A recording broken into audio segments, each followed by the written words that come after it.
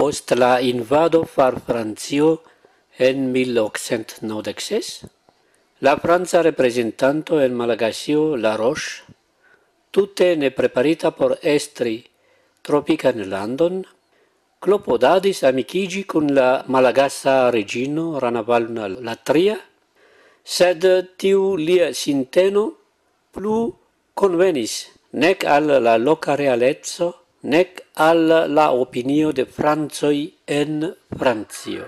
Malagasio igis Franza protectorato, tiel nascigis la patriotismo movado nomata Menalamba, estrita de Rabusaga, cae Rabezavana, cae Reinbezimsaraga.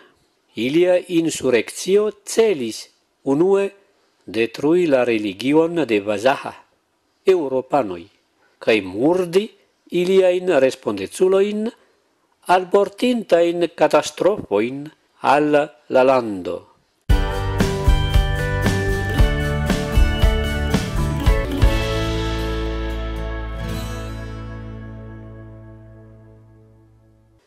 La insurrectio atingis la nordon cae orienton de Antananarivo, unuigante diversajn grupojn. al proximigis, iedec quin kilometroi de la cep urbo. La autoritato malviglis sur la tuta insulo, cae armitai grupoi formigis ne nur ce la sacalava en la occidento de la alta ebenajo, cutimai ie rabado, sed ancao ce la sianaca cae besanzano de la orienta arbaro. La roche clopodis starigi milizoin, qui ui e piquis protecti nur la circavajon de Antananarivo. Si e planque, generalo Voiron, comandanto de l'attacmentoi, autonoma vidalvide de la Roche, sendis amase in colonoin por traserci la malamicoin tra la lando, hazarde mort papante locanoin, bruligante villagioin, cae detruante iliain riscampoin. La ribelintoi poste revenis, obligante la nombron de la malfelicei cae malsatai logiantoi. La popolo rapide consideris che la regino estis encarcerigita de Franzoi. Gi forgesis che antau quelcae monatoi gi desiregis changion de la registaro. La prestigio de la regino multe pli altigis. La ribelado de Menalamb explodis sude de Antananarivo, la tradizie loco de malcontentezzo. La ribelintoi batalis cion, cio estis fremdlanda, ie la nomo de la prapatrei cutimoi. Tiu xenofobio esprimigis en la sen compata batalo contra la cristianismon, la religiuloin, la pregeioin, contra la coloniistoin, cae la pranza in soldato in.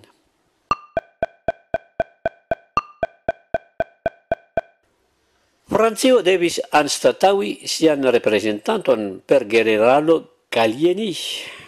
Li disponis sep mil soldatoin, cae rifusis sendadon al li de alie tacmentoi, crom unu tacmento da legio.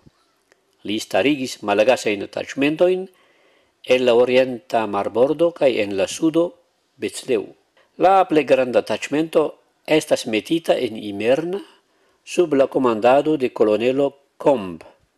Voio estis stargita por ligi antananarivo cun la lago Alaut, cio disigis Rabusaca cae Rabezaban. La nauan de marto 1887, la campadeio de Rabusaca, ce la rocego de Maptungi, estis detruita. La decsepan de aprilo, Rabezavana estis alpushita cae solece vivis en la nordo de Imerna. Li finfine capitulatis la 31 de marto antau la comandanto Liotei. Rabuzaka estis post chasita tra la arbaro submetigis la sequantan iaron. La sen securezza voio c'è la alte benaggia a regiono sub la controllo del Rhein Bizimsara che estis occupita de Franza i soldatoi. De tiam, Rhein Bizimsara che ne plu povis sin provisi cae estis devigita capitulazi la unuan de junio 1897. La insurrectio en Imern finigis. Galieni extradis la tri estroin de ribelado al la insulo reunio cae monatoin poste ili estis amnestiitai cae revenis al Malagassio. La abolizio de la reglando en Imern malcoragigis la ribelintoin Menalamb.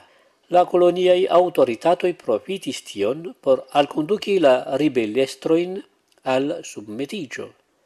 Tiu movado malsuccessis, char la Franzoi estis bone organizitai cae disponis potenzan armeon La tuia consequenzo de tiu movado estis la anexado de Malagasio la 6 de augusto 1896. La regino estis exilita al Algerio e Galini estis nomumita supera comandanto de la Franza armeo en Malagasio.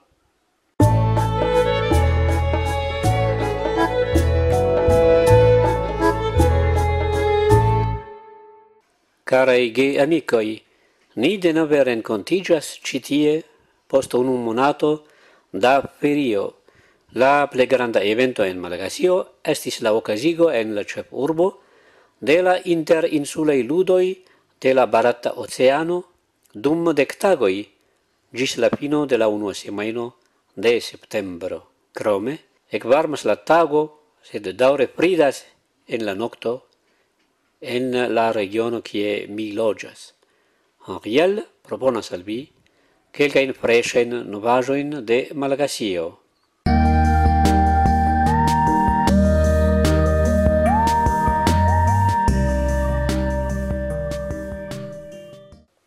La usantoi de la chosseo en Antananarib cae la circauajo estis nervosigitei sabate la quinan de septembro pro la monstra trafic stopigio. Decie audigis grumblado pro la blocigio de plurai axoi cause de la finalo de bicicla concurso cadre de la interinsulei ludoi de la Barata Oceano 2023. La trafico estis interrompita ie la nivelo de la nazia voio numero 1 cae de aliai locoi.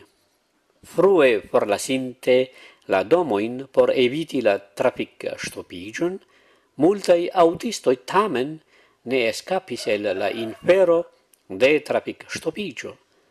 Multai periferiai lugiantoi estis devigitei pied iri al la urbocentro. Ocasis problemoi pro la etezzo de la trotuaro cae pontoi. Quelcai busoi vane changis sian linion.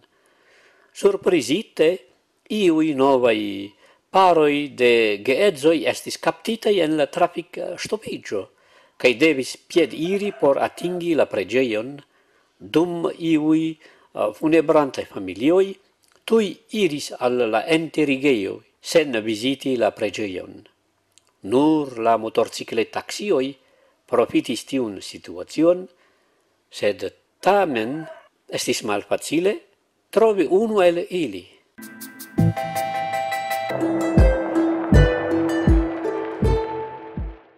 Ciama luma estas nur bela revo. La sen balastigo ioma post ioma reprenas sian locon. La electra intera rompigio intensigis ie la dua semaino de la curanta monato post la inter insulei ludoi en Antananarivo. Gi dauris gis quar horoi en diversei quartaloi de la cefo rubo, caetias periferioi dumtage au ancau dum la nocto. La nazia companio Girama clarigis che temas pri tecnicai problemoi. La noctai electrai interrompigioi estas tamen strangai, cae giornalistoi ne successis aciri de la companio clarigon pritio. La ministro pri energio iam diris che ne plu ocasos economia sen balastigo, cae se ocasos electra interrompigio, tio originos el technicae paneoi. Dum la inter insulei ludoi, magie malaperis la electra interrompigio.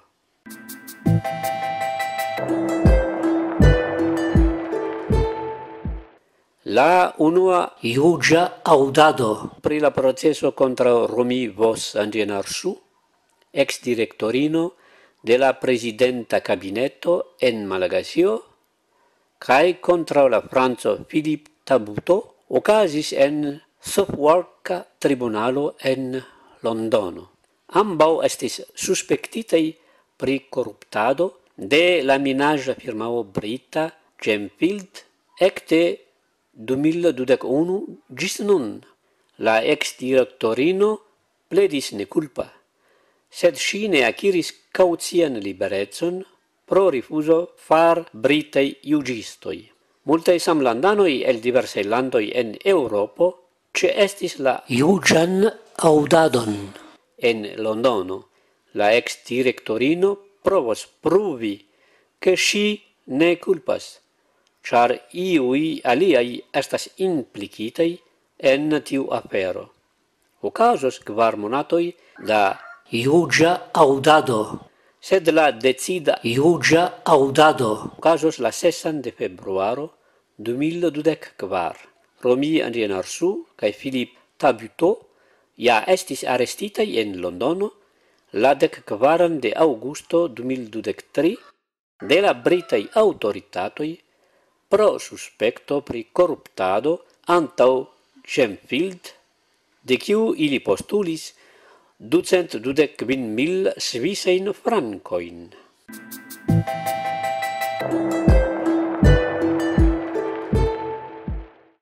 Mortintai universitatoi persistas, la studentoi superas, cae quelcae et ili ec depresias cause de tiu situatio. La strico par la universitatai instruistoi, cunigitai en la sindicato CSS, ocasis de du monatoi. Nenio plu funccias en la universitato, cae tio causas depresion al quelcae ge studentoi. Plimulto de ili devenas de aliei forei regionoi, cae ne plu disponas vivrimedoin.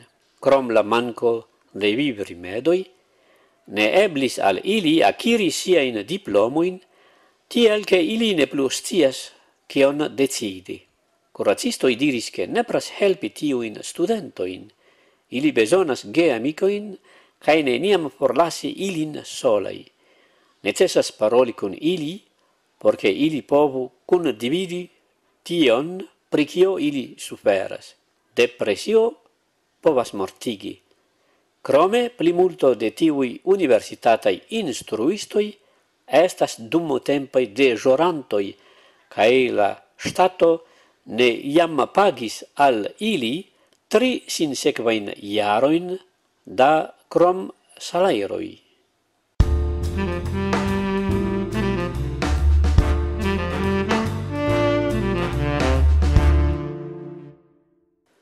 Kio fakte instigas min pluagadi en Esperantio? Amo al Esperanto. Same kiel aliaj esperantistoi tra la mondo, mi sentas amon kai eble ian formon de culto pri Esperanto. La kialo estas ne ciam clarigebla, nec clariginda, sed mi stias nur che tio estas unu el la cefai pontoi de mia continua agado favore al la Zamenhofa lingvo. Sed anca cae precipe amo al la geiunuloi, tiu intensa pasio pri Esperanto ne povas complete plenumigi sen la ce esto de la ge. Mi conscias pri la malfacilezzo al logi ge iunuloin interesigi pri nia lingvo. Ciu invitita lernanto al portas gioion al mi, cae ne eviteble ciu resigno far iu lernanto au lernantino causas al mi chagrenon, mi sen pacienze desiregas condividi con la gei unuloi mian passion pri la lingvo.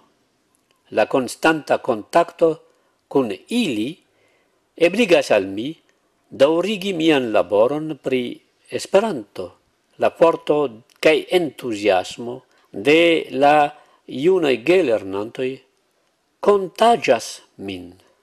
Mi ne povas agi sola.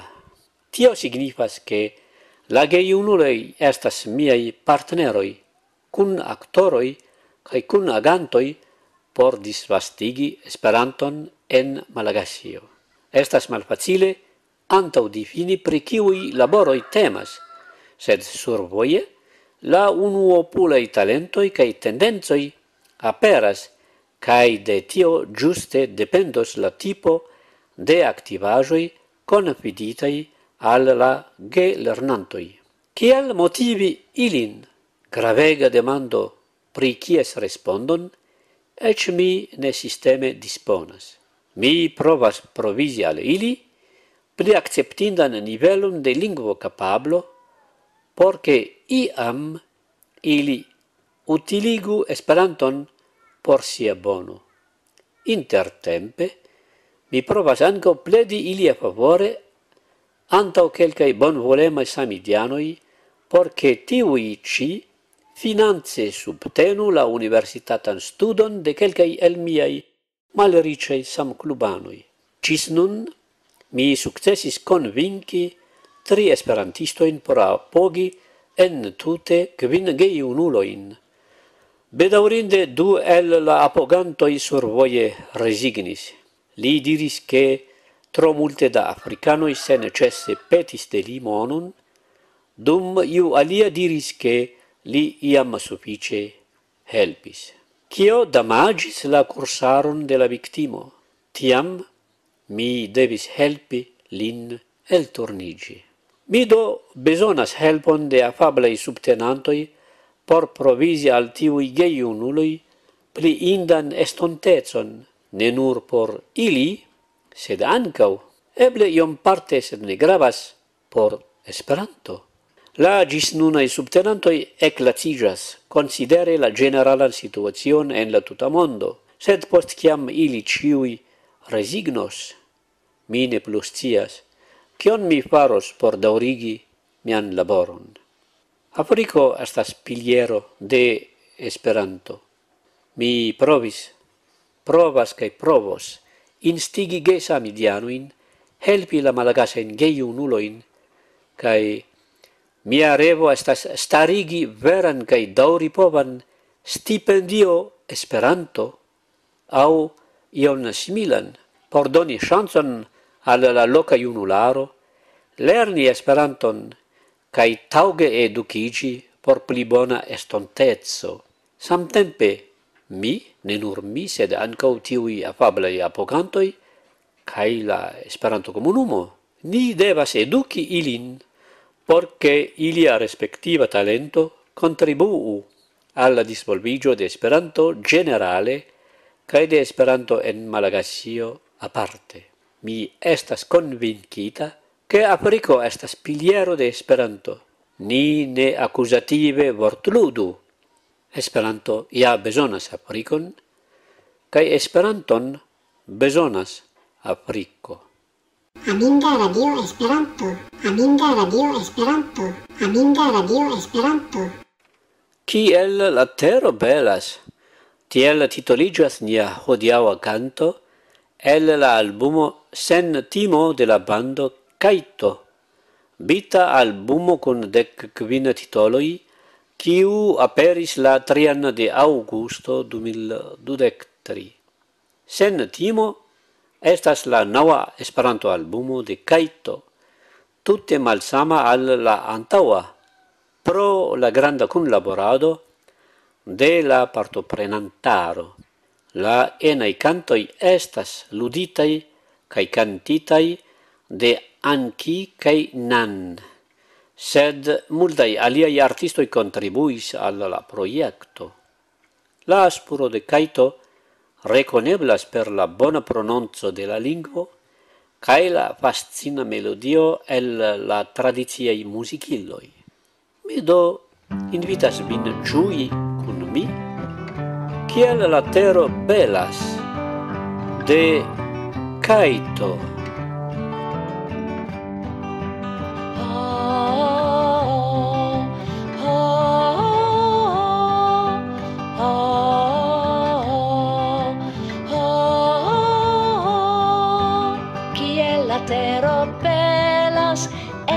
ne cio helas, ec se ne cio glatas, vivi sur la tero mi ŝatas. Malgrau la militoi, multai forpellitoi, Malgrau la monfrukto de la monda corrupto, vivi sur la tero mi ŝatas malgrau fi epoco mortigitai focoi. Malgrau la nutrajoi cum chemi ajoi vivi sur la tero mi shatas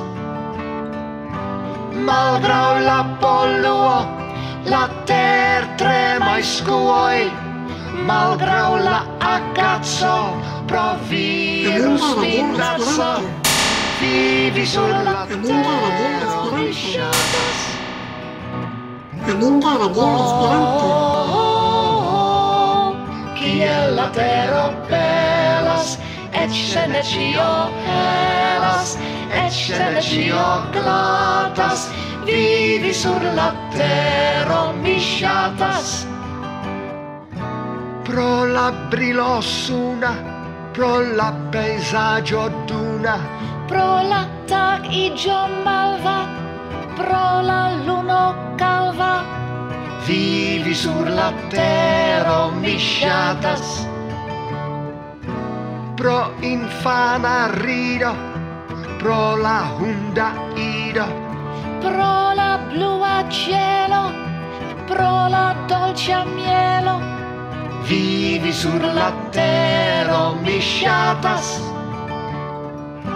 pro humana varmo, pro compata allarmo, pro fratezza gesto, pro via c'è esto, vivi sulla terra mi shatas.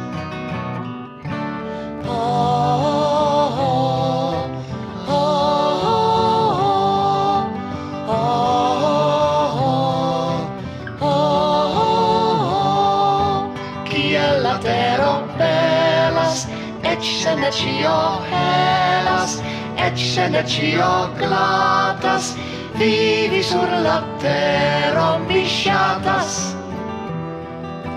Vivi sur la tero mi shatas. Vivi sur la tero mi shatas.